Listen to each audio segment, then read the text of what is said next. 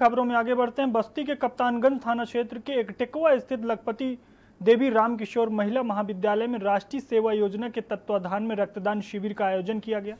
कार्यक्रम का उद्घाटन करने पहुँचे joint magistrate magistrate Prem Prakash Meena ने खुद भी रक्तदान किया। साथ ही वहाँ उपस्थित लोगों को भी रक्तदान करने के लिए प्रेरित किया। इस दौरान सिद्धार्थ विश्वविद्यालय के राष्ट्रीय सेवा योजना के समन्वयक पूर्णेश कुमार सिंह ने कहा कि लॉकडाउन के दौरान ब्लड बैंकों में खून की कमी ना हो। इसलिए हम लोग निरंतर कैंप लगाकर रक्तदान करवा रहे हैं।